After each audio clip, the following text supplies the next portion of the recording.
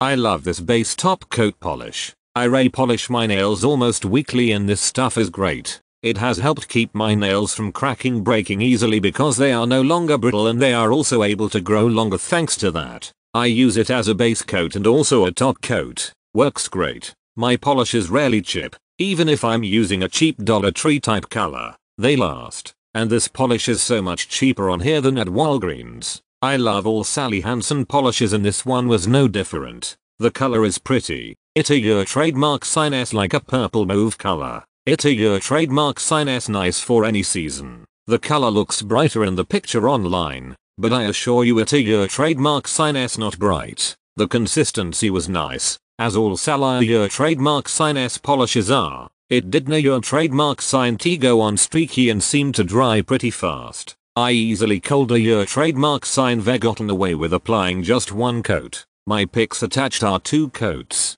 I would definitely purchase this polish again but I'll a trademark sign D like to try another shade. I am a fan of Sally Hansen nail colors, as they always feel strong on my nails, and don't come off as easily as many of my polishes. This mega strength line in the Shiro color does not disappoint. The color is very pretty and neutral in a brightening way, and two coats is very ample coverage you could probably get away with a single coat in terms of opacity. I am fairly rough on my hands and nails, and colors don't last long but Sally Hansen colors last the best for my nails, I find. Very good quality, last long, in my case 5 days looks great. If to follow direction need to get 2 coats, I do just one, my preference. In real looks different than pick but I am not disappointed. Very unique color. It is purple metallic with neon blue undertone. Very beautiful. Can a your trademark sign T even explained just look pick a your trademark sign S.